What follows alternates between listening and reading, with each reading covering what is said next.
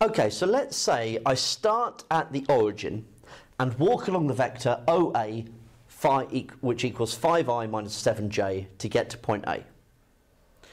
From A, I walk along vector AB, which is 10i plus 18j, to get to point B. And then from B, I walk along vector BC, which is 16i minus 2j, to get to point C. Find the magnitude and bearing of the vector O to C. So what we need to recognise from this is that O to C would be the vector I would travel along as if, if I just went straight from the origin to my final destination, the point C. And that would be, well, OA, so that gets me to, from the origin to A. Then I travel along AB, so that gets me from the origin to B plus BC, and that will get me from the origin to C.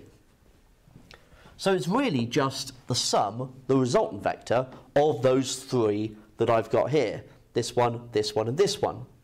So I've got 5 plus 10 plus 16, which is, well, that's 26, so that's 31i, minus 7 plus 18, so minus, so 11, take away 2, so minus sorry, minus 7 plus 18 is 11.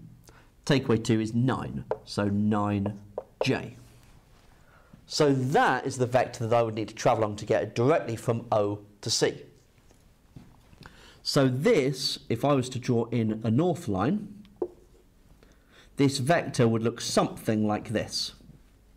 So this is 31i plus 9j. So if I draw in a right angle triangle, then this would be 31, that would be 9.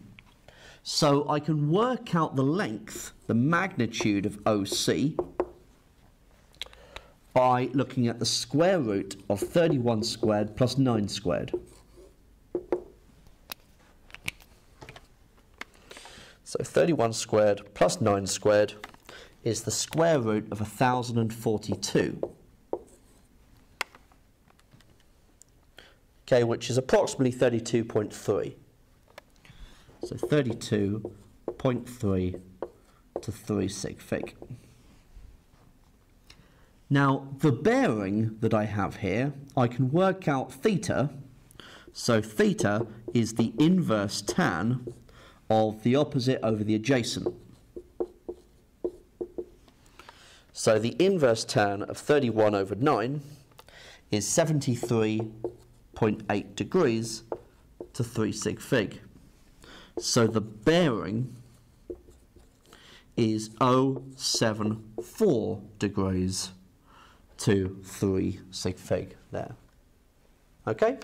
So that is how I can solve this problem, which looked uh, absolutely horrendous, but using vectors, I can deal with it by breaking the problem down and simplifying it into just looking at a resultant vector and then finding the magnitude and direction of that.